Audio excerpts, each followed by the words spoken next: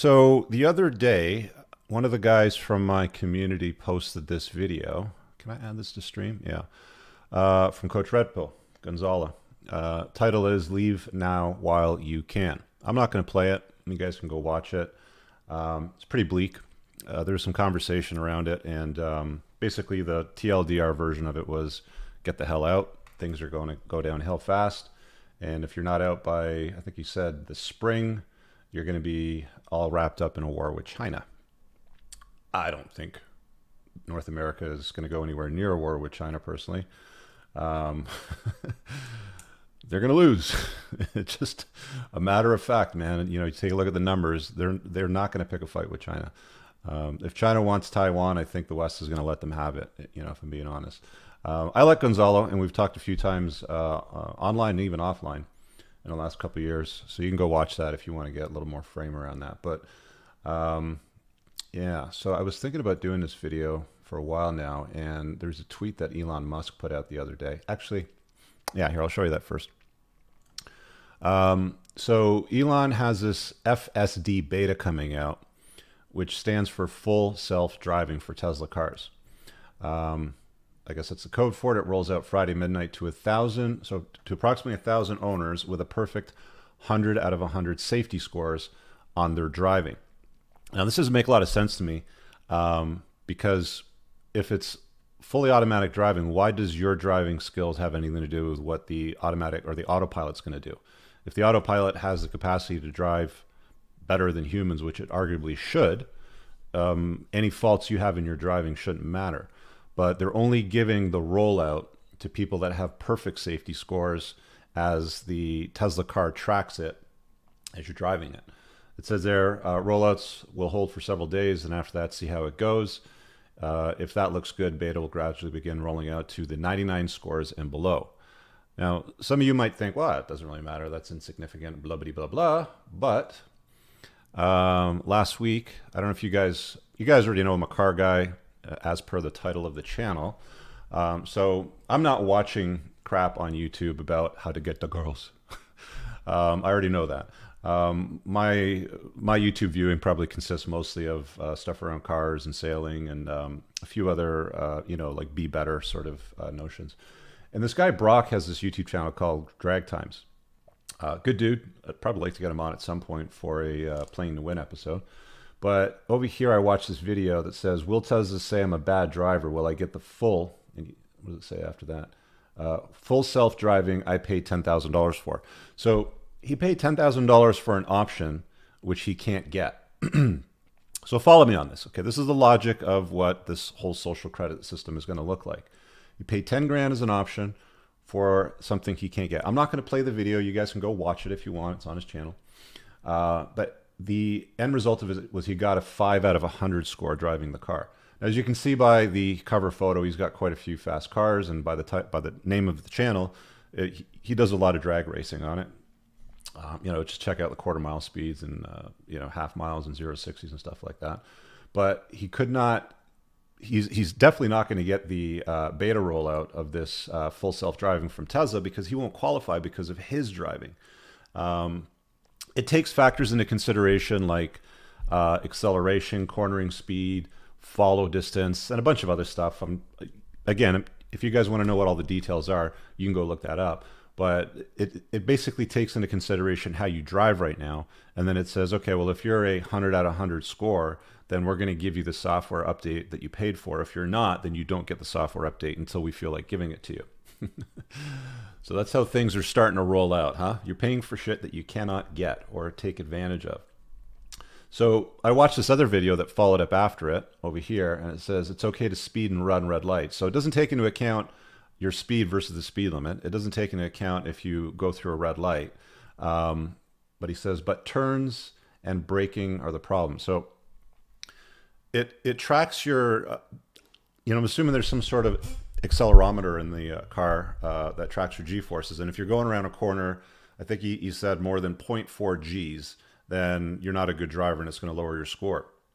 Cars like this, I mean, most cars like my McLaren will probably pull like uh, 1.05, maybe 1.1 Gs, you know, depending on the tires I have in the car and the, the surface, but they can pull a lot of Gs very, like, they're glued to the road, especially if you have aero and all that sort of stuff.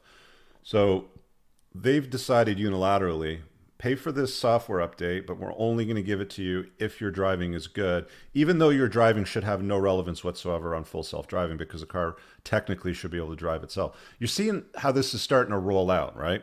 You know, you're paying for stuff that you're not getting access to. They're they're only giving you access if you have a certain score. Now, some of my haters and critics might say something along the lines, "Well, good, because we don't want people driving fast and um, stuff like that," and blah blah blah blah. Well, let me introduce a few more uh, things for you guys to consider. Uh, try to make these a little bit bigger so you can see them. So I don't know who this guy is, but I had this tweet forwarded to me uh, the other day. He says the year is 2031, so 10 years from now. Your electric car locked you out because you reached your driving limit. Okay, that that's something that might show up on a social credit score tracking, you know, mechanism. Maybe you've got a limit of a certain number of kilometers or miles you can drive every single month you've reached that limit. You can now no, longer use that car. Um, you walk to a store to buy your food. The steak you want to buy gets denied because you've reached your CO2 limit. You walk home with a bag of bugs and fake soy meat. And the vegans right now are laughing, going, ha ha, that's good. So let's roll out social credit. Wrong. What happens if social credit encompasses everything, which it will? It's not just going to be, you know, car guys or people that like meat or anything like that that's, you know, tied into that side of the equation. Let's go to the other side of the equation. Let's go to the soy guys. Let's go to the vegans. And let's, uh, because we're all in this together, guys. This is not an us versus them thing when it comes to society. This is an us, meaning society itself, versus the state thing. We're the us, the state is them. Okay.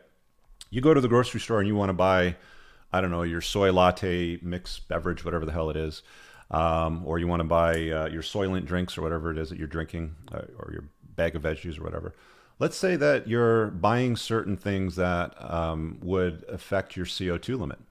Uh, we know that they mostly grow soy in the Amazon rainforest, where they're like basically clearing trees out. Uh, that's where most of the soy comes from. So, what happens if you reach your limit with that? What happens if it's a far left wing? I've got a few notes here. What happens if it's a far left wing socialist that wants unlimited free abortions. What happens if you reach your limit with that? Just saying, you know, what happens if they're tracking that and they say, nope, sorry, nothing for you this month because you've already had your limit in the last six months or something like that, right? Just something to consider. Uh, there's an interesting video, which again, I'm not going to play. Uh, it's called, I'm just going to add it to the stream and put it up here and kind of play it back at a super fast speed and do a little bit of voiceover for you so you can get an idea of what we're looking at. There's two times. Um, so this is on a channel called Your New Social, or sorry, it's called it's by Tom Scott, and it says Your New Social Credit Score. It's it's buffering now for some reason. I hope that's not a problem with my internet. Anyway, I'm going to pause it because it seems to be a problem playing. But go watch it. It says Your New Social Credit Score, and some people thought this was real. Some people actually you know started throwing us around the internet saying oh this is what's coming. You know this is this is already out there. This is what they're doing but they're not. This is a spoof. Okay? The uh, publisher of this um, particular video pinned a top comment down over here. Uh, where is it update on the 13th of april 2021 i've been told that some conspiracy theorists are bizarrely calculating this video as fact to be clear this is a speculative fic fiction from 2018 part of a sci-fi series on the channel blah blah blah blah so this is a complete spoof. It is it is completely you know it, it is not nonfiction. It is fiction, and people are tossing around like it's already happening right now. But the way they break it down, the way it's been broken down, you're going to see exactly what I'm talking about when you go watch that, right?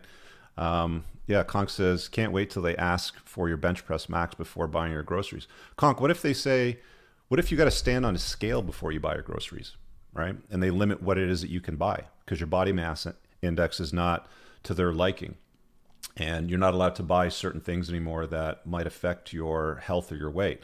I don't have any problem with that, but there might be some people that have certain food addictions um, that might have a problem with that, right?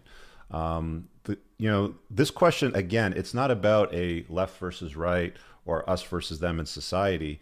Going down the social credit score route, which is already happening, as I pointed out with what Tesla's doing, is one example. There's thousands more. I'm going to show you a couple more um, it's going to create basically four classes of people. elites, the sheep, the broken sheep, and the black market. Okay. Um, you have a you have a good score. You've got the money to pay for uh, exemptions. Maybe you're going to be in the elite category. That's not me. That's not you. That's not anybody with probably less than $100 million in net worth. You're going to have to have some serious bank to be in that category. The sheep are all going to be the ones that quietly comply. Um, they will follow everything to the rule. They're the ones that ran right out as soon as the government said, hey, we have an experimental vaccine that hasn't been uh, put through any kind of clinical trials on a long term basis. Come and take the jab and save your life. And they're like, let's run out. Those guys. The sheep. There's going to be a lot of sheep, and there's going to be broken sheep who are going to have a low score. Maybe because I don't know, they shoplifted, maybe because they were speeding in their car, maybe because they exceeded their limit of car CO2 emissions for the month and they are no longer allowed to buy certain things or have access to certain things. Or maybe leave their house. What happens if you can't leave your house because there's a smart lock on your house because the government has you in um, you know, these giant towers, these glass boxes they call condominiums. Sometimes they're also called, uh, you know, housing. They're all the same thing. What happens if they put smart locks on those and you can't leave your house, right? because you've been a bad boy or a bad girl. Maybe you were protesting, you know, somebody or something or a president or a, a corporation. And, you know, God forbid, you're not allowed to go out anymore. You can't leave your house. The smart lock won't let you go out until your score goes higher, until you've done certain things, certain tasks, or wait a certain period of time because your timeout's over, right?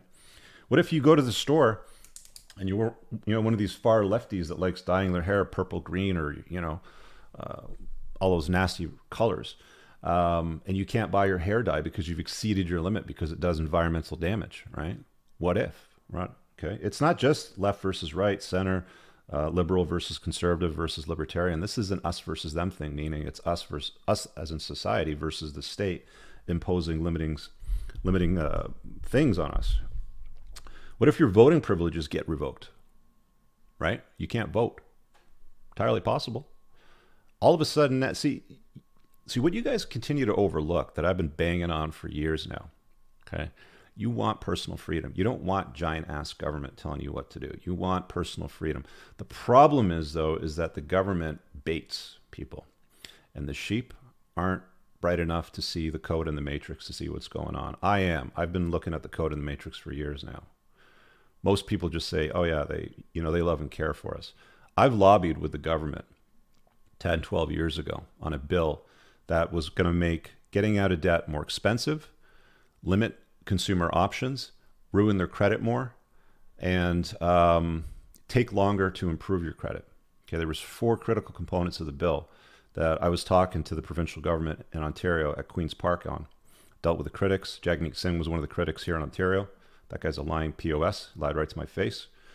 And they don't care about what's good for the consumer. I've watched them firsthand. I've seen the code in the matrix. They only care about themselves and retaining their authority and control. So as long as you keep voting for big government thinking that free shit's good, let's tax the rich, you know, that popular phase. Hey, you know, you guys want to keep voting for that. That's what you're going to get. You're going to get more of the social credit system. What if you get limits to access to medicine if you have a low score, right? What if you're one of the guys out there? And I'm not pro vax or anti vax. I'm pro make a decision for yourself that works, right? I mean, there's certain people that should probably get it and certain people which it just doesn't make a lot of sense. But let's say that you don't take the jabs that they want you to that year or the boosters that they want you to that year because you've made a unilateral choice in your own interest to do what's better for you. And then you need medical assistance for something totally unrelated, you know, to any kind of outcome or disease that might come out of it, but you don't get the medical treatment that you're looking for right? That's what happens with state run healthcare. That's what happens with social credit systems. You guys are going to, now, I'm a big fan of blockchain money. Huge fan. I've been talking about it for a while. Cryptocurrency is going to change the world. Blockchain is going to change the world. But the government is already realizing that they're going to have to issue state issued currency. I don't know what they're going to call it, the Fed coin, the you know the Fed USD coin, the Canadian Fed coin or whatever it's going to be called because it's on the blockchain and you can use smart contracts with it, if you use their currency, they're going to know exactly what you're using the money for. It's not like, you know, you can take cash out of your ATM and you can buy whatever you want with them. They have no idea what you're doing with it. If you're going to be using a blockchain based currency, which is going to come, right? If if people don't adopt things like Bitcoin, Monero, you know, maybe some of the other privacy coins, some of the other DeFi projects that come out, stuff like that if the masses, if the sheep just go, okay, big government, bah, and just shift over and abandon a currency system that gives them at least some amount of privacy and autonomy and um, is permissionless and is censorship resistant. If they if they go right onto the government system, you know what's going to happen? They're going to know exactly what you buy all the time. You buy too much meat, you buy too much soy, you buy too much of something that's going to uh, rack up a score that's going to throw off your social credit score. You're banned from it. Uh, it you know buying certain things might limit your score. Maybe if you buy too much alcohol or too much cigarettes or too much weed or too much too many condoms, uh, too many Plan Bs. You know, any any one of things could lower your score, right? Just think about it. You know, it's coming. It's already here. It's not even like it's coming. It's already here. Like, hi, Cold Hard Truth Bombs Bomber Command. Welcome to Rich Cooper's Bomber Command. This is it, guys. This is this is what is going down.